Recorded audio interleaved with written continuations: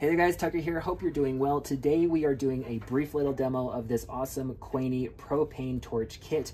This thing is awesome, especially if you're trying to um, obviously get rid of weeds, burn stuff, anything that needs uh, those burning uses. This thing comes in uh, a lot of handies, as you can see. So what I'm gonna do first is turn it on uh, to the propane and I'm just gonna quickly show you how to use it. So first things first,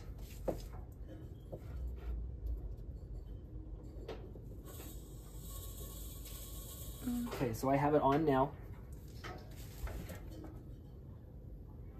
Uh, first thing, go ahead and just open right there.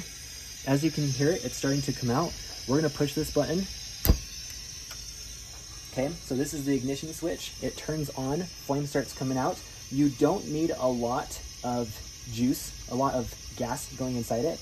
You can use this if you wanted to, to uh, increase gas, decrease gas, and then obviously with your uh, um, handle here, this is what you can use to blow more uh, fire, okay? So anyway, when I'm ready to turn it off, I'll go ahead and turn the dial to the negative, so that obviously gets stopped. Um, but yeah, this thing comes highly recommended. It is, uh, does really good, has really good high ratings and whatnot. Um, totally recommend this uh, propane torch kit. So anyway, hope this video helps.